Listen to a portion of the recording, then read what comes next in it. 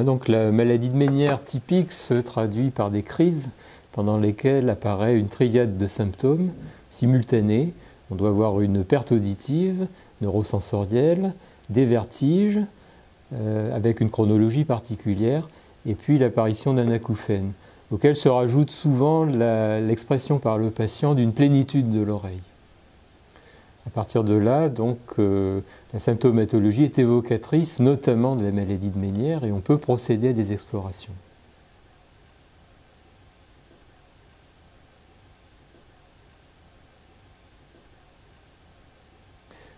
L'origine de la maladie de Ménière est encore un peu mystérieuse et l'objet de beaucoup de débats.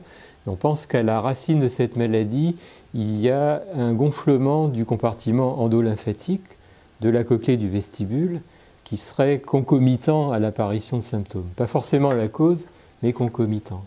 Et pour avoir déclenché cette augmentation de volume, il est fort possible que la pression régnant dans les compartiments soit impliquée. Autrement dit, une surpression dans le compartiment endolymphatique pourrait déclencher à la fois l'apparition d'un gonflement, donc l'hydrops endolymphatique, et l'apparition de symptômes comme euh, la surdité neurosensorielle par découplage des cellules sensorielles qui traitent l'audition, l'apparition de vertige euh, parce que la pression peut solliciter de manière aberrante les cellules du vestibule, et puis l'acouphène résulterait de la perte neurosensorielle. bien que cet acouphène soit souvent un peu différent des acouphènes classiques, puisqu'il est souvent décrit comme un bourdonnement ou un ronflement. Et ça, ça peut traduire le fait que les cellules atteintes sont spécifiquement celles qui codent pour les basses fréquences.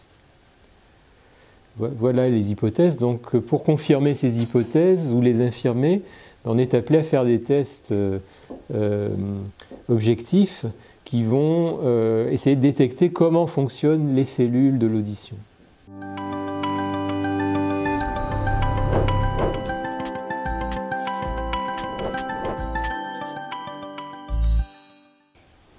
pour essayer de euh, mettre en évidence des perturbations des cellules sensorielles auditives qui seraient à l'origine de la surdité fluctuante pendant les crises de Ménière, eh bien, on peut utiliser les signaux produits par ces cellules, notamment les cellules ciliées externes, et donc les auto-émissions acoustiques sont un signal de choix.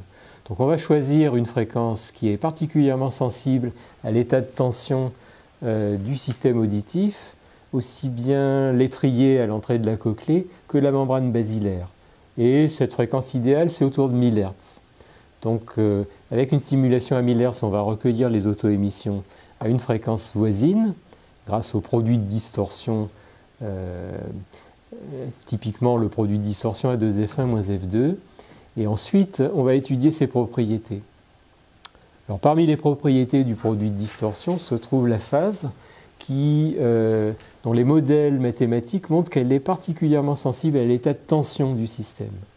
Donc si l'hydrops entraîne un état de tension anormal dans la cochlée, on va le voir par la phase des auto-émissions. il y a deux possibilités. Soit on attend les fluctuations naturelles de la maladie, et à ce moment-là, on peut être amené à faire des tests répétés sur un intervalle d'une semaine ou un mois. C'est un petit peu long pour avoir un diagnostic. Soit on va provoquer des variations de pression, extérieure en faisant l'hypothèse que sur une cochlée déjà sous pression, ces variations de pression extérieure vont être mal tolérées. Et l'idéal pour appliquer des pressions euh, extérieures simples et, de taille normalement anodine, c'est le changement de posture. Donc on va essayer d'enregistrer les auto-émissions en continu tout en effectuant des changements de posture entre la posture assise ou debout et la posture à plat en général, les malades de Ménière, même proches d'une crise, supportent relativement bien ces changements de posture modérés.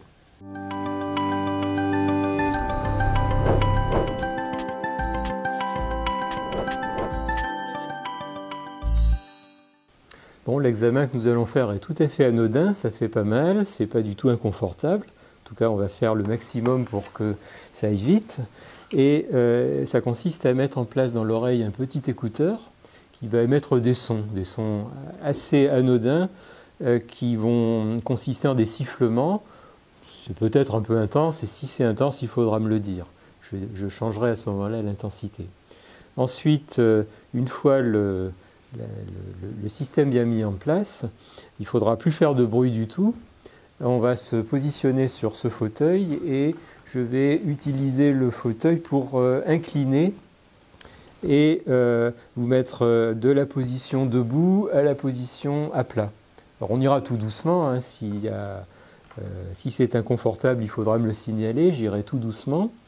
L'idée c'est de faire, on, pense que vos problèmes sont dus à des problèmes de pression dans l'oreille interne. Donc cette pression, je vais la faire changer un tout petit peu en utilisant la, pesanteur. Donc en position debout, le sang va plutôt vers les pieds. En position à plat, couché à plat, le sang reflue un peu vers la tête et la pression augmente. Donc selon que l'oreille est plus ou moins sensible à la pression, je le verrai sur mon petit appareil et je pourrai poser le diagnostic. Donc voilà le principe du test. Bon, donc on va s'installer sur le fauteuil à bascule. Alors ça pourrait être un fauteuil de consultation d'ORL, c'est tout aussi simple. Mais là, on préfère utiliser ce fauteuil. Donc il faut monter dos à la table et les pieds sur le marchepied en se tenant bien droit. Voilà. Aucun risque de tomber parce que euh, l'appareil permet de bloquer correctement les choses. On va euh, alors le mieux c'est euh, de vous tenir un petit peu plus droite sans vous appuyer pour l'instant. Donc voilà comme ceci. Et le temps d'installer le dispositif. Donc j'ai besoin de mettre en place le système d'écouteurs. Bon, là je vais fixer l'écouteur sur un vêtement. On va essayer le bouchon rouge qui est en général une taille moyenne. Donc là, il faut que ça rentre facilement et que ça tienne bien. je pense qu'il est un peu gros. Même s'il pourrait tenir, en fait, on va essayer de la taille en dessous. C'est très important que le bouchon soit bien dimensionné, quitte à perdre un peu de temps, parce que s'il n'est pas étanche, on perd considérablement en qualité de signal. Donc là, il a l'air de très bien tenir. Le fil ne frotte pas sur les vêtements.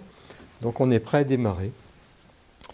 Donc on va faire un premier essai. Ça va siffler d'une certaine manière.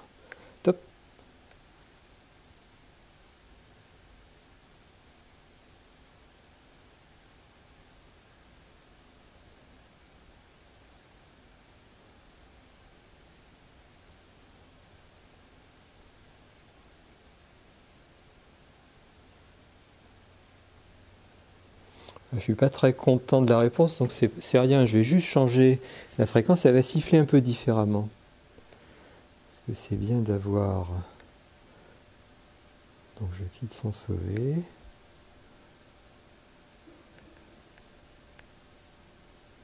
Voilà, je change un petit peu la fréquence. Souvent, quand on change de fréquence, le signal reçu varie. Donc là, il était un peu petit. Je vais voir s'il est plus grand maintenant. Ça vaut la peine de perdre quelques secondes parce que avec un meilleur rapport signal sur bruit, je serai beaucoup plus à l'aise. On recommence, ça va siffler un peu plus aigu.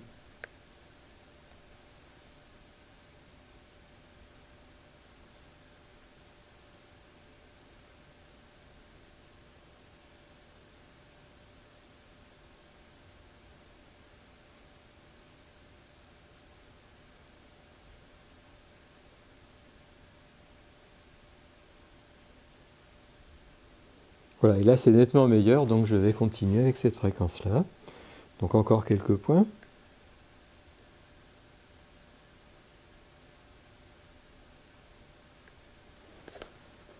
Maintenant j'incline la table.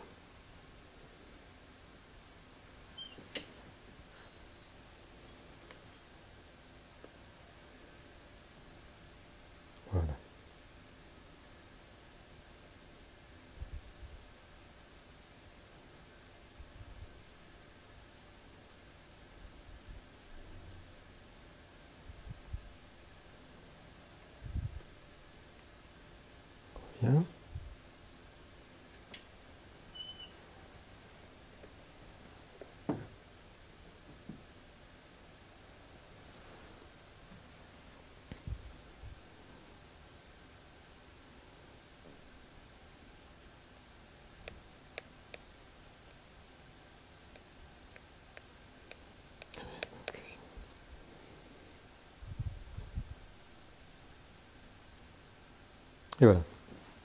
C'est fini. Donc vous pouvez redescendre, on va enlever le bouchon.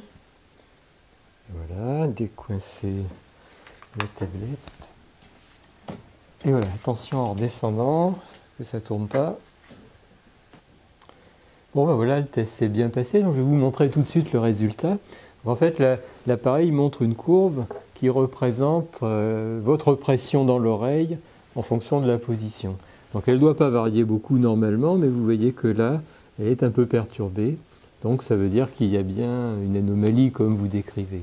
Donc ça veut dire que ce, que vous ressentez est bien en, rapport avec un petit problème de pression dans l'oreille. Donc euh, ben, on va essayer de le traiter euh, sous une forme ou sous une autre.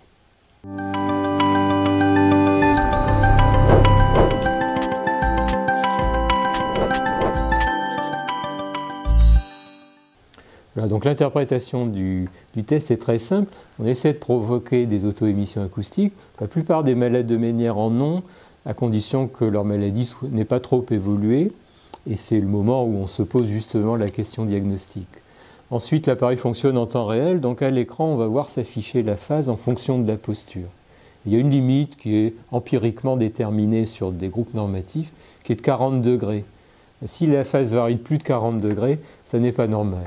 Parfois, elle varie de plus de 40 degrés spontanément, sans changement de posture, on a tout de suite la réponse. Parfois, elle ne varie qu'après un changement de posture et plus ou moins rapidement.